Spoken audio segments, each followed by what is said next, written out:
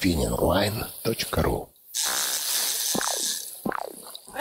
Рыбку мышкой. Здравствуйте, дорогие друзья!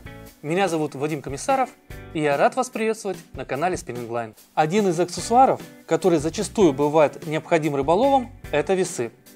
Самый распространенный вариант – взвесить свой улов или оценить вес пойманного трофея. И для этого у многих фирм есть различные модификации этих устройств. Сегодня в нашем обзоре представлены весы Bizman от итальянской компании Stonfa. Давайте поближе их рассмотрим. Всего в линейке есть две модели.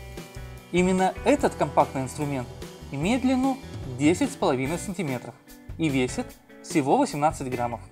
То есть он легко поместится как в кармане куртки или штанов, так и в небольшом кармашке рыбацкой сумки. И все время будет под рукой. Корпус изготавливается из белого пластика. В верхней части находится отверстие диаметром 2,5 см.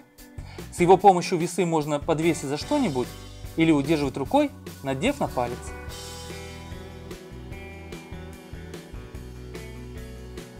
Внутри кольца мы видим металлическое колесико, предназначенное для выравнивания шкалы на нулевой отметке. Далее идет корпус инструмента. В нем расположен пружинный механизм, то есть это механический девайс. С передней стороны имеется контрастная черно-белая шкала с прозрачным окошком. Через него мы можем наблюдать за показаниями прибора. Градация составляет 100 граммов.